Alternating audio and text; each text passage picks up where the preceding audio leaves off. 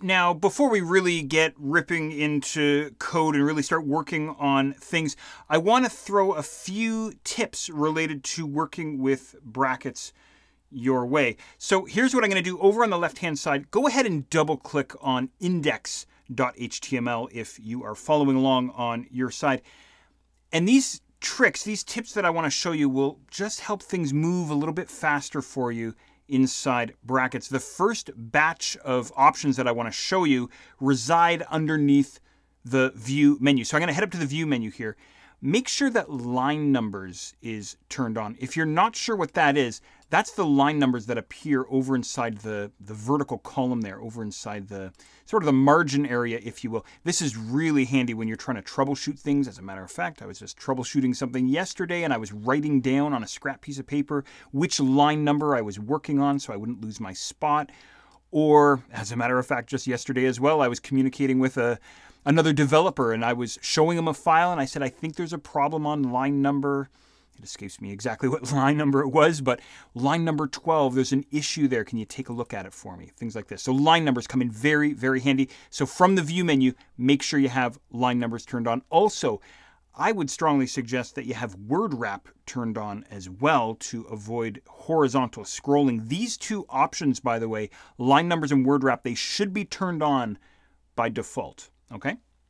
Now, the other option that I want to show you here is just above those two, highlight active line. You can turn this on if you want, and what will happen is the active line that your cursor is currently on will obviously highlight, as you can see there. This makes finding your place inside code a lot easier. It's entirely up to you if you want to have highlight active line turned on or disabled. Up to you, okay?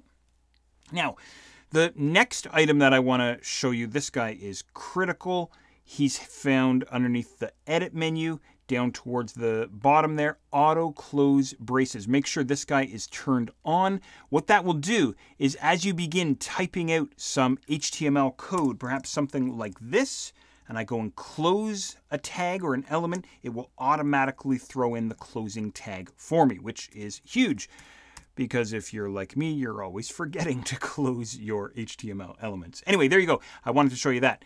The last thing that I want to show you is unique to Brackets here as well. It's a feature that Brackets has that no other code editor has, and this is called Live Preview. Essentially, Live Preview connects Brackets directly to Google Chrome and updates Chrome instantly and automatically as you and I are working on our web projects. So this means there's no need to save your projects and refresh your browser and you know this sort of thing, constantly going back and forth. How do you activate them? Well, you could head to your file menu if you want and then head down to live preview. That's perfectly fine. Or you can use your handy keyboard shortcut. That's fine as well. But I think what most people do is they head for the lightning bolt icon way over in the top right corner. Go ahead and click on that guy and that will fire up a new instance of Chrome and it will load in the page, the current page that you have open inside brackets.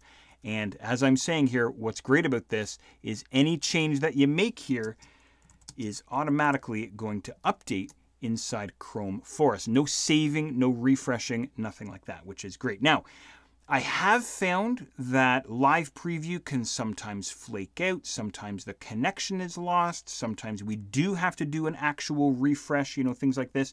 The other thing that I wanted to mention too is it only works with Google Chrome, unfortunately, and it's only going to preview the current file that we have open inside brackets. Anyway, I wanted to bounce these these tips, these tricks, these aspects of brackets off of you so that you can work a little bit more efficiently with your code.